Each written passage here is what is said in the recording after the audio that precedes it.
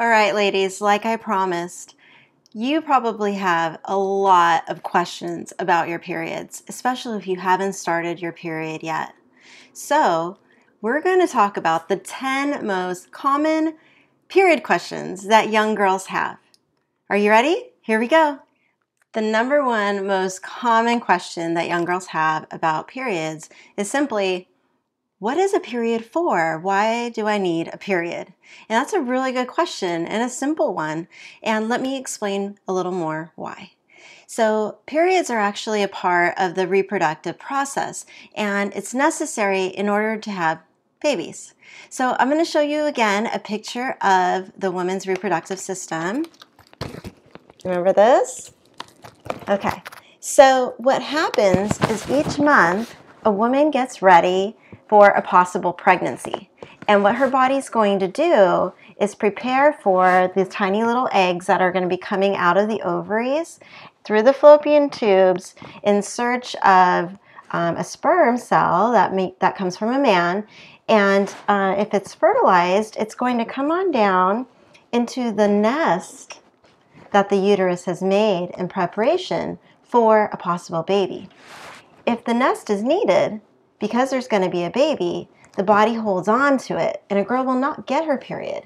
And that actually is one of the first signs or symptoms of pregnancy for a woman is a missed period. Okay? Now, if no sperm cell meets the egg, then the egg will just come down and it actually will just fall out of the body. And if you remember, the egg cell is the size of a grain of salt or a grain of sand, so it's very small, so she's not going to notice. But what will happen is about two weeks or so later, this uterine lining, the nest that was built for the baby, well, it's not needed. And your body doesn't keep things it doesn't need. So what will happen is the uterus will squeeze to get the tissue with blood in it off the walls and it will slowly flow out of this little opening here which is about the size of a tip of a pen or a pencil when it's sharpened. It's a very small opening. And it's slowly going to come out of the vagina and, and that is the period. And it takes about three to seven days for all that tissue with blood in it to come out of the body. And what's going to happen is again, the next month, the body prepares for another possible baby. So maybe this time, this ovary may take over and release the egg this time. So it'll come out in search of the male cell sperm, and most likely it will not meet a sperm and it will fall out of the body. And again, the girl will get her period about two weeks after that happens. So it's about every 28 days or once a month that a girl gets her period. And the reason she gets it is it's part of the reproductive process in order to carry a baby someday. Another thing you're probably wondering is when am I going to get my period? When is it coming? It's a really good question, and unfortunately, I can't give you an exact answer. What I can do is tell you about some of the signs that it's on its way. So, for most girls, puberty starts um, between the ages of 9 to 14. And when it starts, you don't get your period right away. It's going to be a few years after puberty begins that your period will come, okay? And for most girls, it's about two years or so on average after you begin to develop breasts, so the breasts will begin to bud, um, and also about two years before before, or I'm sorry, two years after pubic hair grows. So once you start to get new hair on your body and all those wonderful new places, it'll be about two years afterwards that you can expect your period. It's not a really exact time, is it?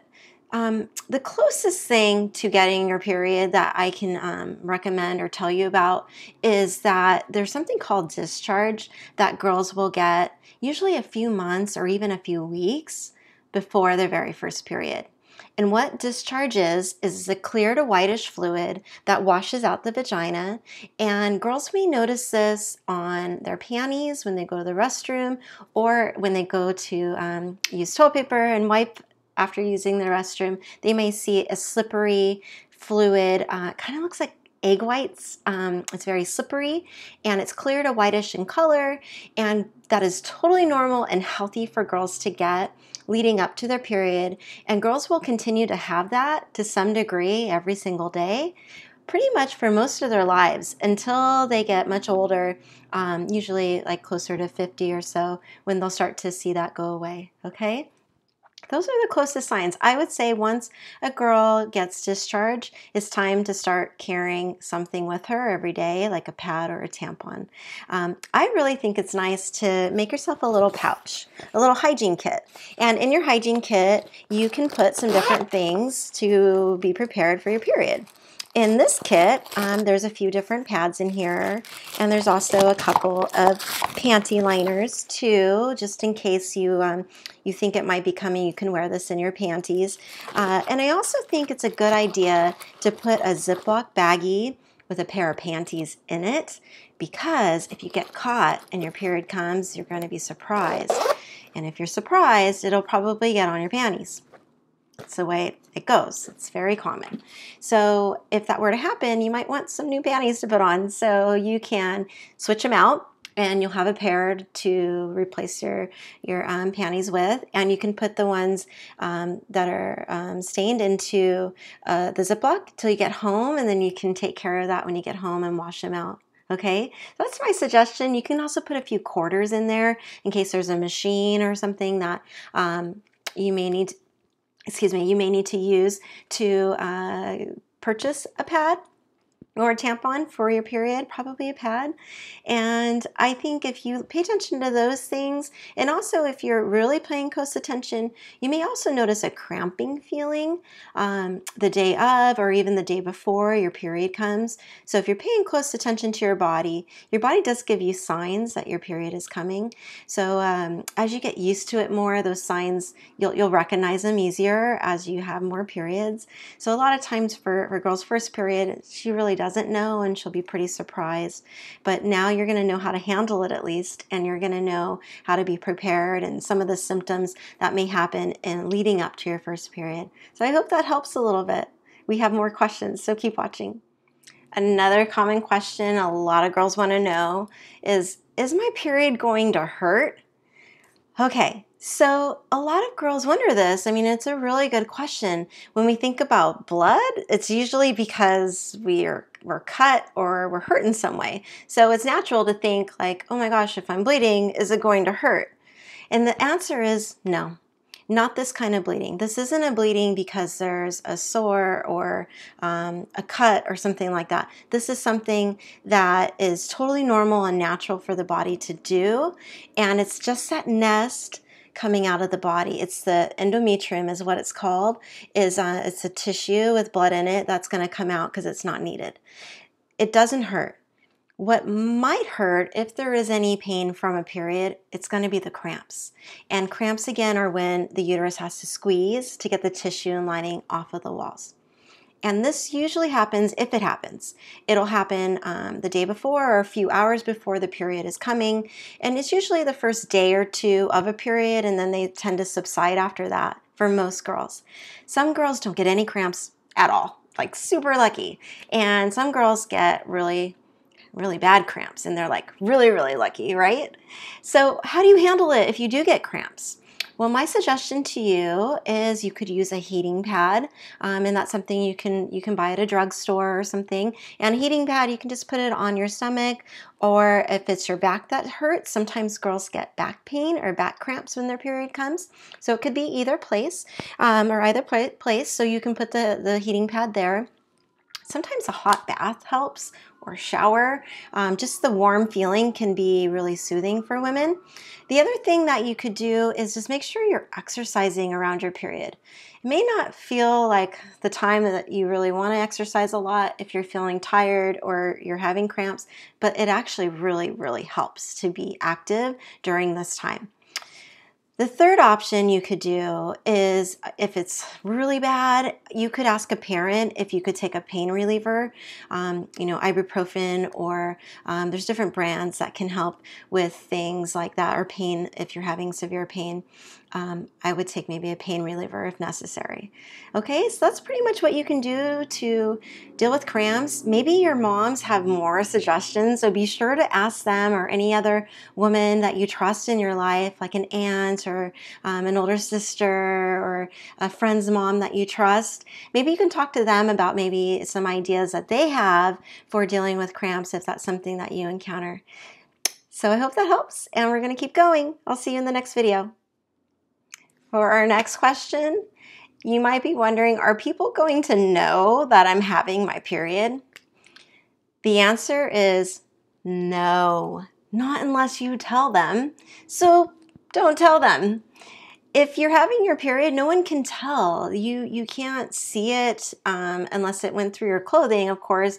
But now that you know what to look for and symptoms and signs of your period coming, and once you do get your period for the first time, you'll start to track it you'll keep a calendar and you'll count out about 28 days, and then you'll know that it's about the time when your period will be coming. And you can be prepared with a pad or um, a sanitary napkin or, or tampon with you in case you get caught and your period comes. Okay, so once you see how many days apart your period is, it might be longer than 28 days. It might be shorter than 28 days. You're going to know when to expect your next one, so it won't catch you off guard as much, okay? So that's what's really neat. So don't tell anyone, and no one's going to know you're having your period. You may also be wondering, what does it feel like to have a period? That's a really good question, too.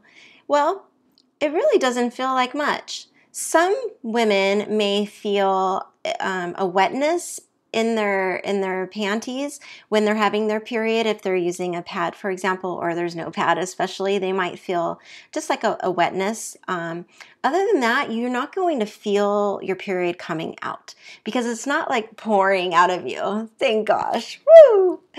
it doesn't pour. It more it's more of a, a small drip it, it makes me think of a, um, a faucet. So it's not fully on, it's not like the, it's pouring out, but more of a faucet that's turned off.